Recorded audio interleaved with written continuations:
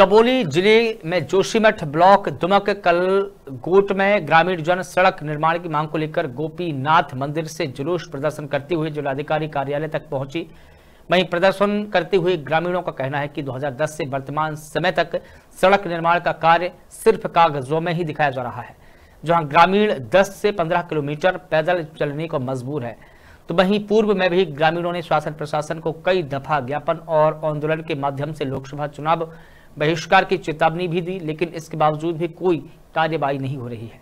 विधायक राजेंद्र भंडारी ने बताया कि पिछले तीन सप्ताह से ग्रामीण जन क्षेत्र में अनशन कर रहे हैं, फिर भी कोई कार्रवाई नहीं की गई है। इसी क्रम में स्थानीय जनप्रतिनिधि लक्ष्मण निगी ने बताया कि सरकार ग्रामीणों की समस्याओं को अनदेखा कर रही है, जिसके कारण ग्रामीणों का आक्रोश आज सड़कों पर उतर आया है।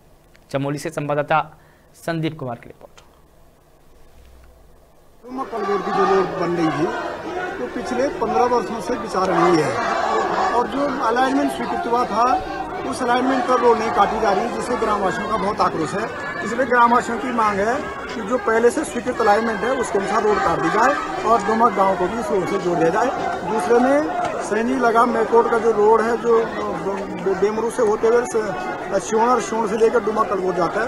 वो पिछले डेढ़ साल से बंद है, उसमें यातायात नहीं चल पा रहा है। दूसरे में हेलन से लेकर के उर्गम का जो रोड है, उसका बहुत बुरा हाल है। गाड़ियों का चलना मुश्किल हो रखा है, दुर्दशा और की है। तो इन तमाम लोगों के संबंध में लोगों का प्रतिनिधिमंडल आया था और उसी प्रतिनिधिमंडल की मांग को लेकर लोगों का आक्रोश है। सभी भी लोगों का आक्रोश है। धन्यवाद। जो आपने आवाज़ उत्तराखंड सरकार तक पहुंचाई। जो हमारे ये आज आंदोलन है सहज लगा बेमरू मोटर मार्ग है। जो कि आपका घिराण से शुरू होता है और डुमक कलगुट दो ब्लॉकों को जोड़ता है।